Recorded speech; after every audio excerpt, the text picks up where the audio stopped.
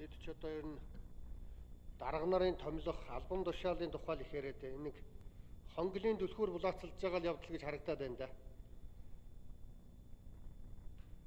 Объектив хэдэн асуулт асууя. Улсын хурлын удирдлага томилдог яг хэдэн байгууллага байдаг вэ? Одоо энэ асуудлыг оруулж ирэхэд бол Нямбаатар гишүүн бас судалгаатай оруулж ирсэн баг. Эдгээрээс хэдэн яг тэргуун дид дарга дид даргатай вэ?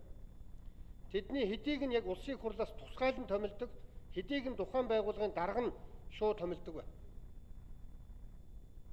Ийм ялгаатай томилгооны яг учир шалтгаан яг юу юм бэ? Анх яагаад ийм шалтгаанаар орж ирсэн? Одоо яагаад энийг болиулж байгаа юм?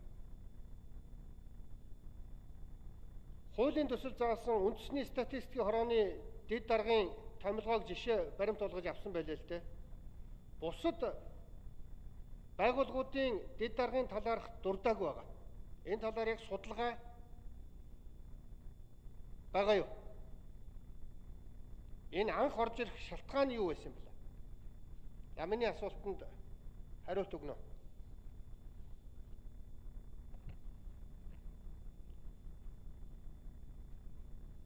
За, Нямбатар сайд хариулъя.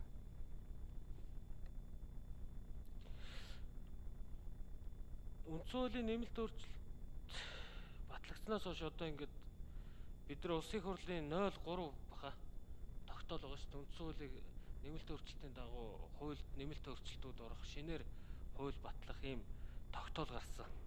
За энэ хүрээнд Монгол Улсын үндсэн хуулинд зааснаар ерөнхийлөгчд тодорхой бүрэн эрхийг зөвхөн энэ хууль заасан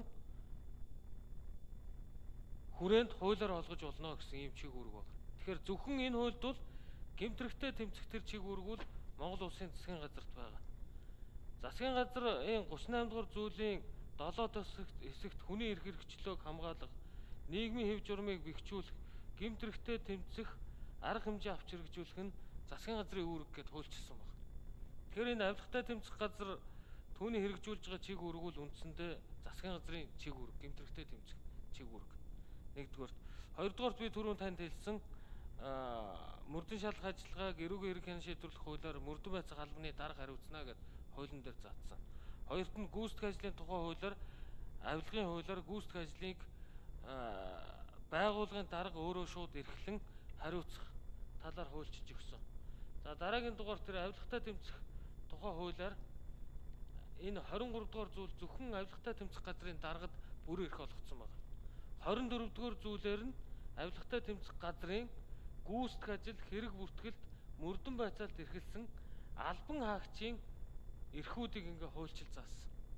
За саяны тэр таны асуусан асуулт нь манай төрийн нарийн бичгийн дарга баасан дөрж нэмж хариулна. Их хурлаас томилогддог байгууллагууд маш тодорхой байгаа. Тэдний дарга дэд дарга нарыг хэрхэн томилогдож байгаа талаар баасан дөрж нэмээд хариулчих. За 83 дахь микрофон. Зүйн тэргийн баасан дурж Ганбаатар гишүүний асуултанд хариулъя. За яг хууль тогтоомжийн хүрээнд яг их хурлаас удирдлагын томилогддог байгууллага гэж нэг яригддаг. Их хурлын дэрэгдэх байгууллага гэж нэг яригддаг. За яг их хурл дээр асуудал нь ордог байгууллагуудыг бол жишээ нь дээд шүүх улсын ерхий прокурор бол их хурл танилцуулдаг. За тэгээд удирдлагын томилдог зарим байгууллагууд байна. Бүрэлдэхүүний томилдог байгууллагууд байна. Жишээ нь АТГ авилгатай тэмцэх газрын бол удирд даргын томилдог, дэд даргаыг нь одоо хүчин төгөлдөр үүсгэр. Статистикийн газрын даргаыг томилдог. Ерөнхий аудиторын томилдог.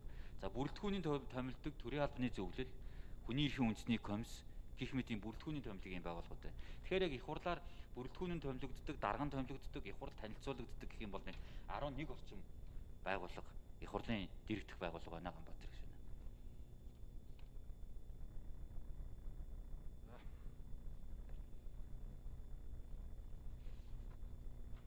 За одоо их эзэн Чингис хаан танхимаас улсын хурлын